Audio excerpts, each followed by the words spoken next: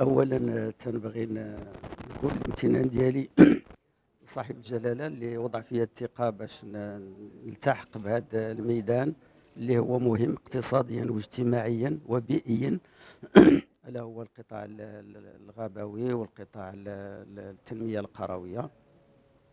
اللي بلا شك أن تعرفوا أن صاحب الجلاله تعطيها واحد الأولوية مهمة نظرا للمشاكل اللي تعرفها العالم القروي.